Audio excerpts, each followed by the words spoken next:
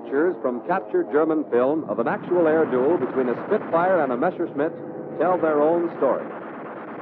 This Spitfire pilot did not know his acrobatics as well as his enemy.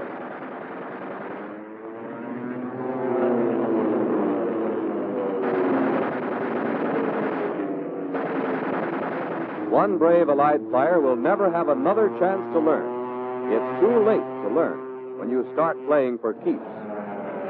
That's why acrobatics are essential to every military pilot.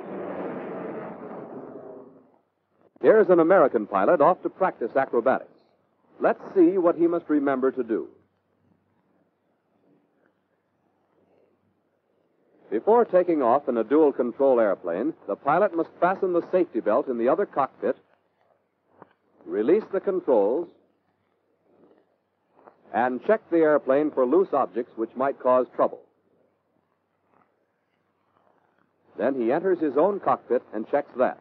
He fastens the safety belt, making sure that it is secure and snug.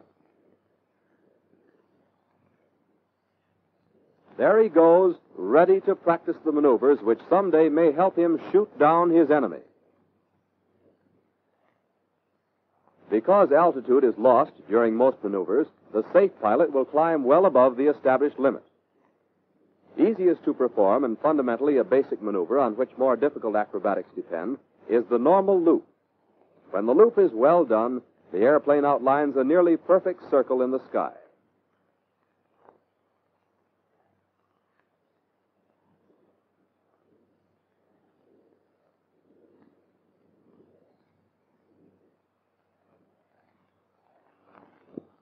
As the pilot noses down to begin his loop, he picks an aiming point, like this road.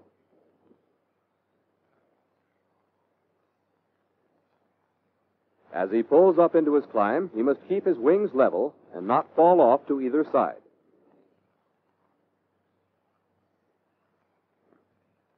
Coming out, he picks up the aiming point again and levels off.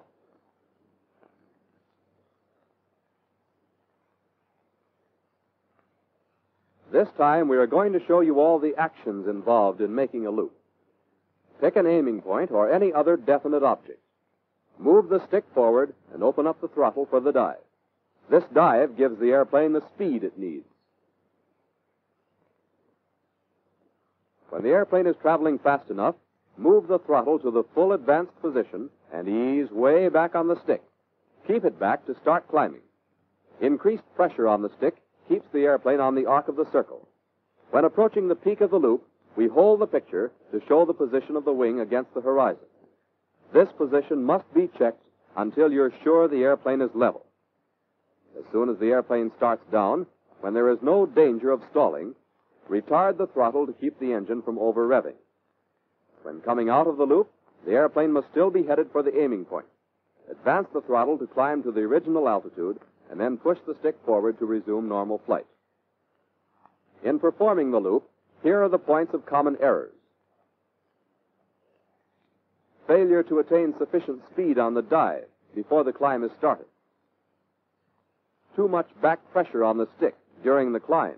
This may lead to a stall. Retarding the throttle too early. This makes the airplane fall out of the loop. And lastly, errors in rudder use at any point in the loop. This results in failure to maintain the flight path in a vertical plane.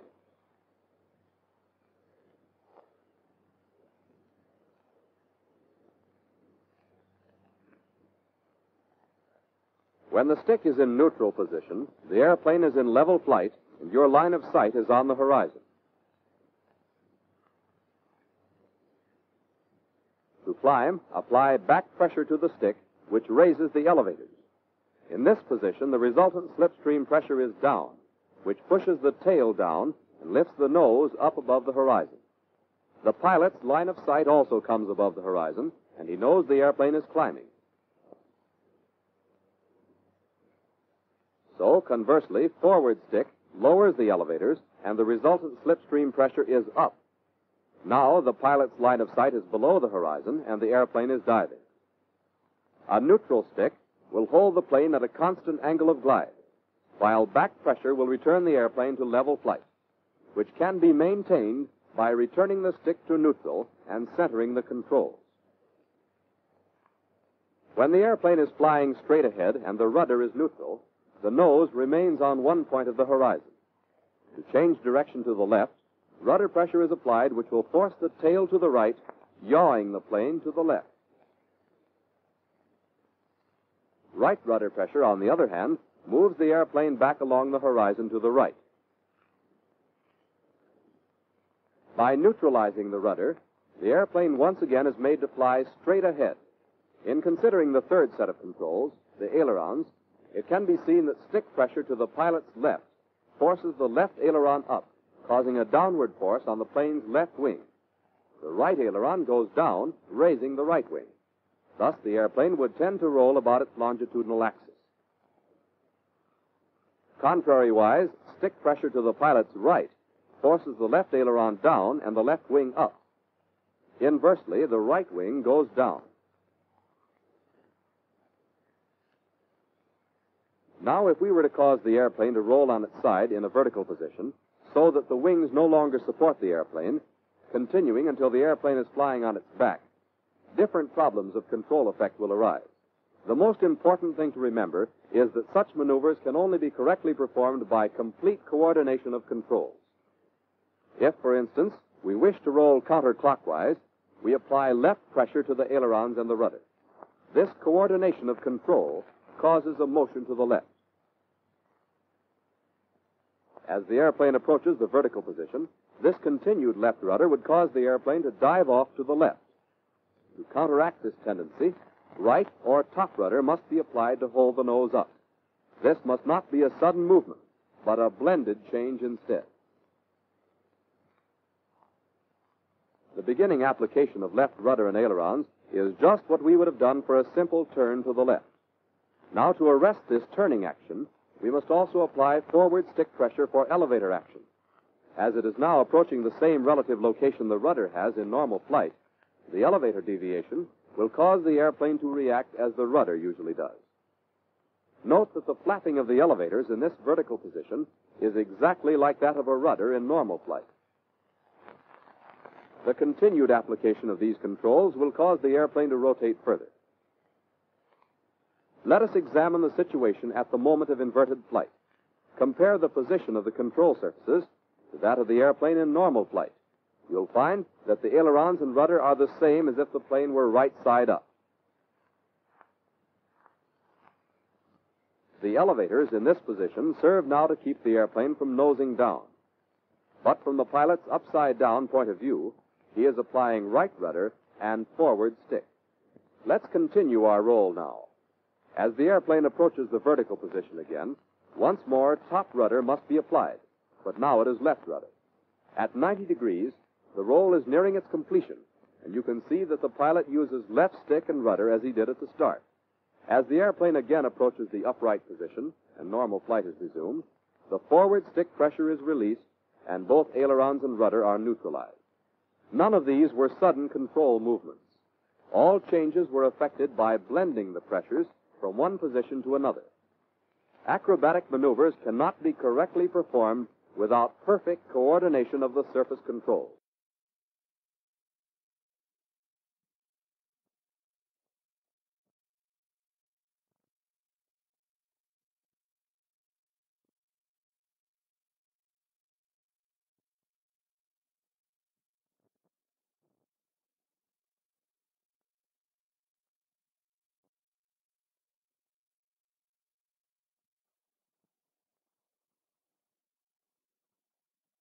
Here is the slow roll, well done. Note how the nose comes up slightly, and the airplane rolls over on its back, and then continues around again. It is a true lateral roll dominated by aileron control. Keep the nose up during a slow roll. If the maneuver is properly executed, the nose of the airplane circles on the horizon throughout the roll. Stop the roll when the horizon is level.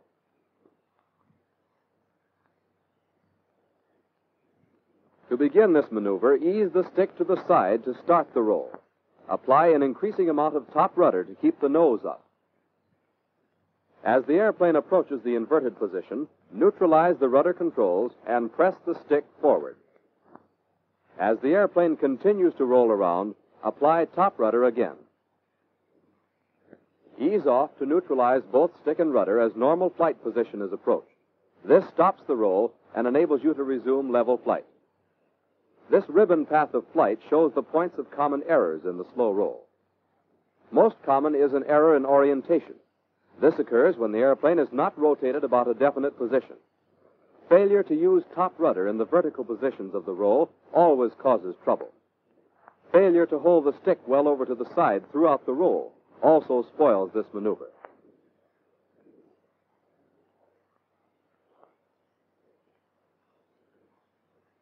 In a snap roll, the airplane rotates one full turn about a horizontal axis as in a fast tailspin. Keep the nose up for the snap roll. And bring the airplane out with the horizon level.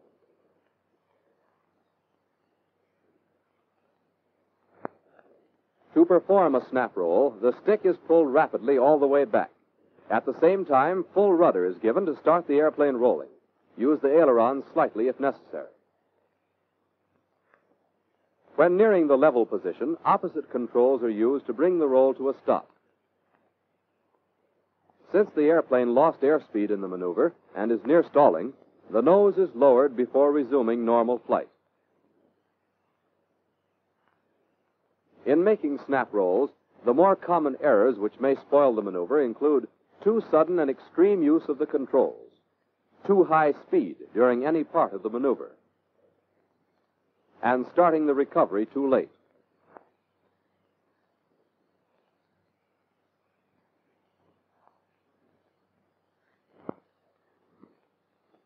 In the half roll and reverse, the nose is pulled up just as in a slow roll.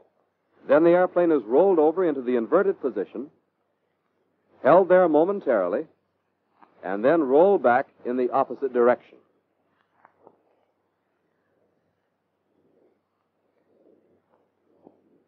Remember, first roll the airplane to the inverted position. The horizon should be level. Hold it momentarily, and then roll back. Anticipate the return to normal flight by stopping the maneuver when the horizon is level. To make a half roll and reverse, the ailerons are used to roll the airplane over.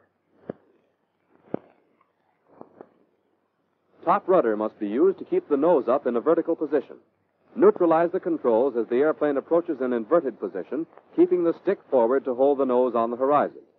Now move the stick to the opposite side to start the airplane rolling back. Again, use the top rudder to hold the nose up. Bring the stick and rudder back to neutral as the airplane moves into normal position. In the half roll and reverse, common errors include failure to orient the roll around a definite point, failure to apply top rudder in the 90 degree position, and failure to hold the stick forward in the inverted position.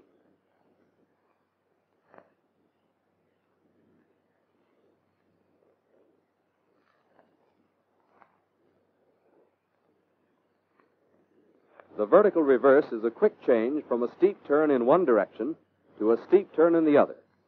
The airplane movements are rapid but controlled.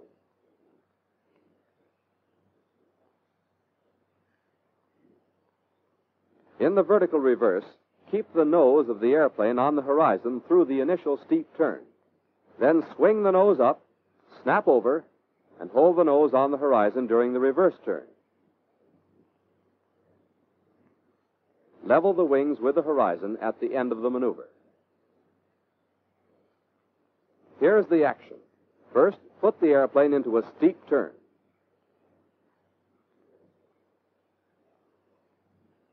Then apply firm opposite rudder and pull the stick back and over in the same direction as the rudder. The airplane noses up and snaps over. Apply top rudder to keep the nose up. Then return the airplane to level flight.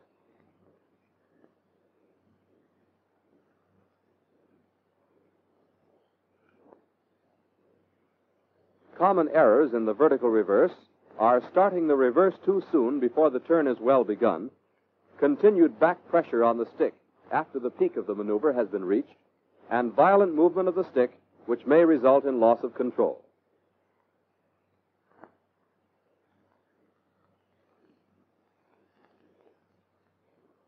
In an Immelman, the airplane reverses its direction completely. The maneuver begins with a longer dive than that used for a loop. The airplane actually goes through the first half of a loop and the last half of a slow roll.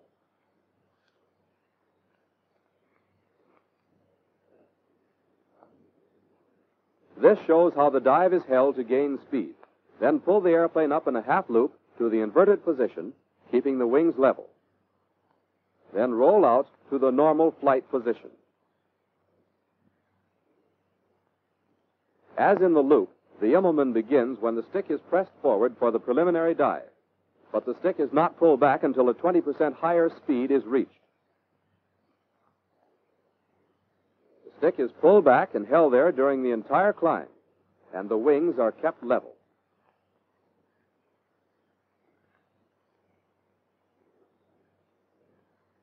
When the inverted position is reached, the stick is pressed forward and to one side to begin the half roll.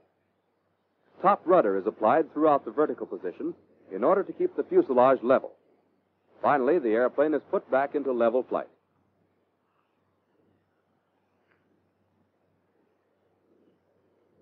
The maneuver will not be a successful Immelman if these common errors are made. Failure to orient the maneuver toward a definite ground objective. Insufficient speed, which may result in complete failure. And failure to maintain horizontal and level flight during the half roll. Thorough familiarity with all acrobatic maneuvers is a necessary preliminary to actual combat experience. The simple loop, basic for timing and coordination in the use of throttle and elevator. The half roll and reverse, necessary in the development of a fine sense of timing.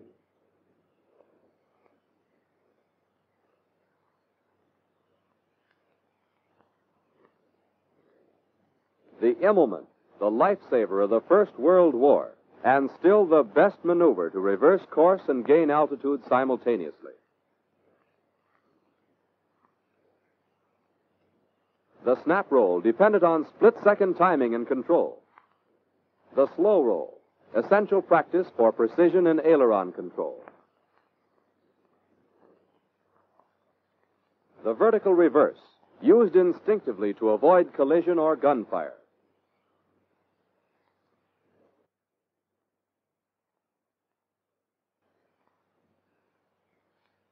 These acrobatics may not be used as complete maneuvers during actual combat, but the precision, timing, and control must be familiar and instinctive reactions when you're up against the enemy.